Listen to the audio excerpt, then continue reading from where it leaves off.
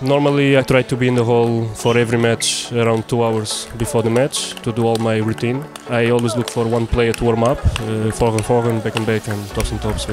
I make always two exercises. Uh, usually it's 2-2 and three against backhand. Uh, just to warm up my body to get a good feeling. Then finally a little bit service free uh, to be ready for the match. Even if I play against weak player or very strong player, I always try to keep this uh, routine.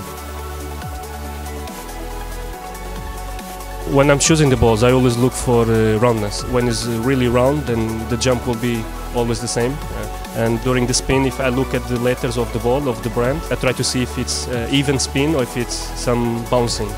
If I see that there are too many bouncings, then, then I choose other ball, of course, because then it's not so round.